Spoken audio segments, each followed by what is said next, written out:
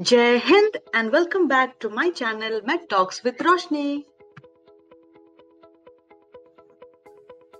WHO has estimated that around 339 million people have asthma globally and around 4,17,918 deaths due to asthma at the global level every year.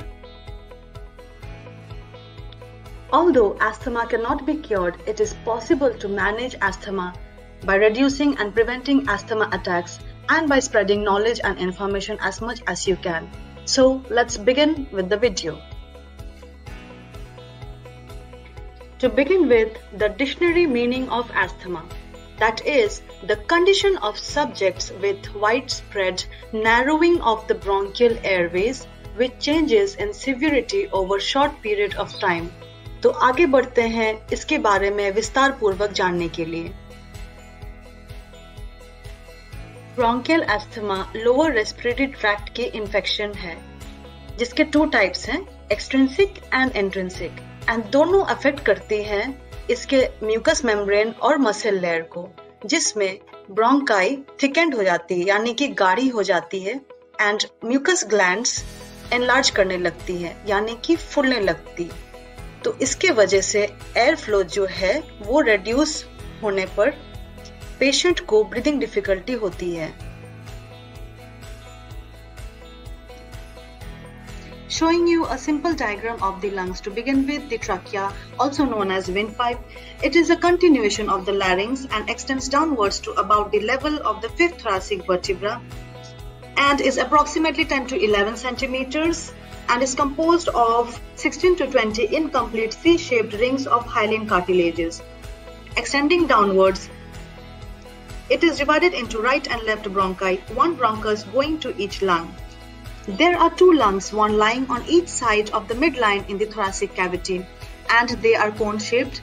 As in the picture shown, the right lung is divided into three distinct lobes, superior, middle, and inferior, and the left lung divided into superior and inferior. The left lung is comparatively smaller as to facilitate the heart. अब हम बात करते हैं bronchi and उसके smaller air passages के, जहाँ पे asthma affect करती है। हमारा जो ब्रोंकस है, वो ट्रकिया से दो हिस्सों में डिवाइड होती है right bronchus and left bronchus right bronchus का स्ट्रक्चर थोड़ा सा wider shorter and vertical position का होता है। एंड इसकी जो अप्रोक्सीमेट लेंथ होती है, वो है 2.5 सेंटीमीटर वो आगे जाके तीन ब्रांचेस में डिवाइड होती है to go into three different lobes that is superior middle and inferior and further वो जाके छोटे छोटे ब्रांचेस में और डिवाइड होती है जब तक कि वो एल्वियोलस ना बन जाए. एंड दूसरी तरफ़ देखा जाए तो लेफ़्ट ब्रोंकस जो कि 5 सेंटीमीटर लॉन्ग होती है एंड उसका स्ट्रक्चर थोड़ा सा नैरो होता है as compared to the right bronchus and वो आगे जाके दो ब्रांचेस में डिवाइड होती है to enter into superior and inferior lobe okay और वो फर्दर जाके छोटे छोटे और ब्रांचेस में डिवाइड हो जाती है। ट्रकिया एंड ब्रोंकस दोनों की सेम टिश्यूज से फॉर्म होती है and that is ciliated columnar epithelium और जैसे कि वो ब्रोंकियल्स तक पहुँचे उसकी शेप चेंज होकर क्यूबॉइडल शेप्ड सेल्स में चेंज हो जाते हैं।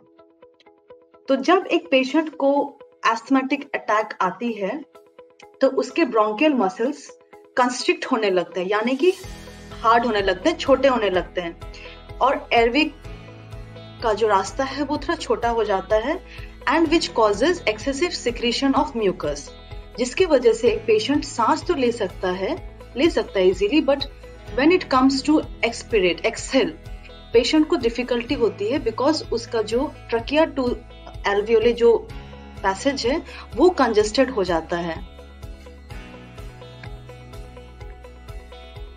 जैसा कि मैंने आपको समझाया पेशेंट की इनहेलेशन यानी कि सांस लेने की क्रिया नॉर्मल रहती है, जबकि उसकी एक्सहेलेशन पार्शियल होती है। इस वजह से उसके लंग्स हाइपर इन्फ्लेट हो जाते हैं। उदाहरण के लिए मैं बोलना चाहूँगी कि आप अगर एक बलून को एक्सेस एयर से भर दें तो वो फटने के कगार पर हो जाती है। वही हमारे लंग्स के साथ होता है। लेकिन हमारा लंग्स जो है थोड़ा थोरासिक कैविटी के अंदर कैद है। इस वजह से पेशेंट को चेस्ट टाइटनेस महसूस होती है। एंड उसमें मेन तीन साइंस एंड सिम्टम्स नज़र आएँगे। फ़र्स्ट इज़ कफिंग यानी कि पेशेंट विगरसली खांसता है। इस कोशिश में कि उसके लंग्स थोड़ा खुल जाए। नेक्स्ट इज़ वीजिंग वो साउंड कुछ इस प्रकार का होगा।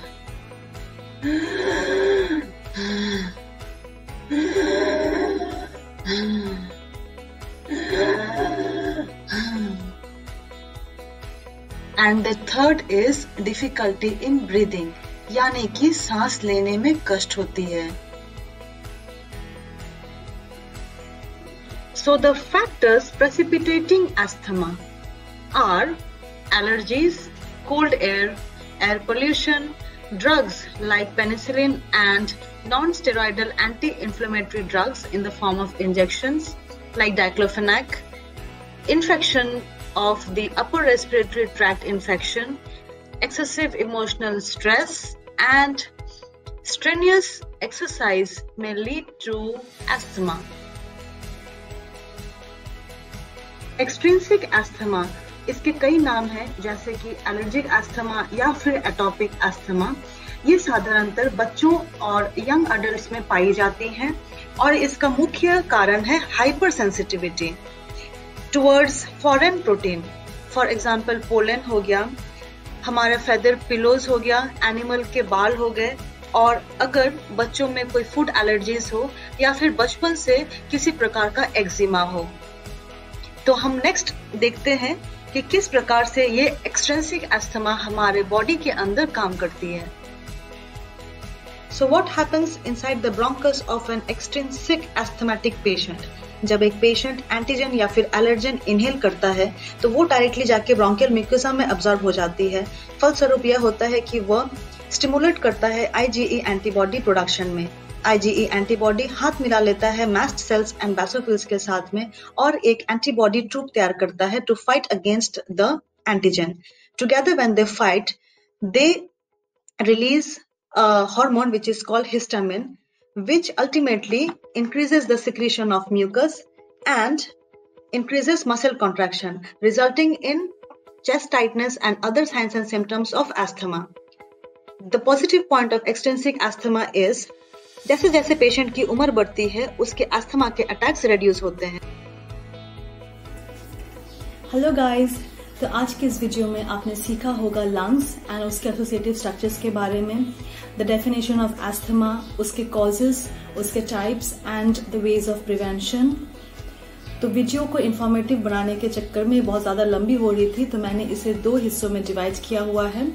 तो सेकंड पार्ट नीचे लिंक में दी गई है, अगर आप देखना चाहें तो या तो फिर आप ये आई बटन को प्रेस करें।